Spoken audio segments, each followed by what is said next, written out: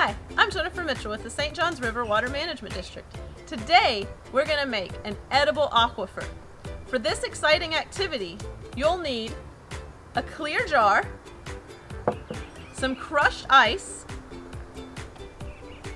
some clear soda,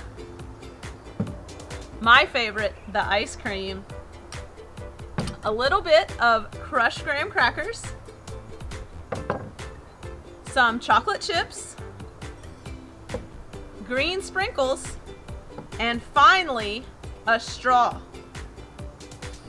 To make our aquifer, we're gonna fill our clear container about halfway with our crushed ice.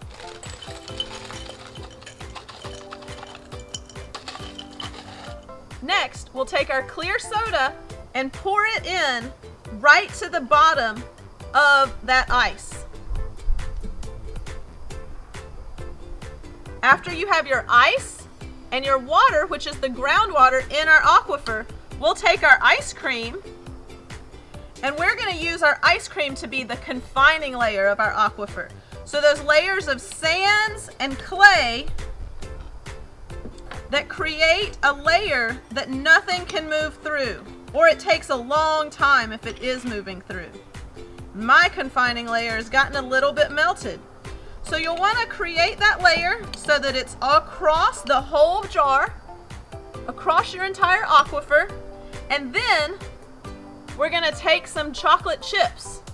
This is going to be our surficial aquifer. You'll notice in all of these aquifer systems, there are different sizes of holes that the water can move through. And that's really important when we're thinking about how quickly water is making it down into the Floridan aquifer. We'll add a little bit more of our groundwater and we can see that it recharges. And then we'll take our graham crackers and put them on. There are soil. So we have our topsoil and then we can have some green to represent our vegetation and the fertilizers.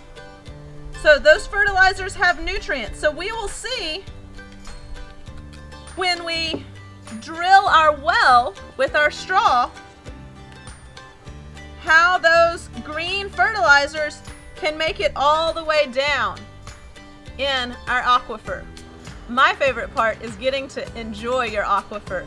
As you're drinking it, keep in mind that you're acting like the well. You're creating that drawdown in your aquifer.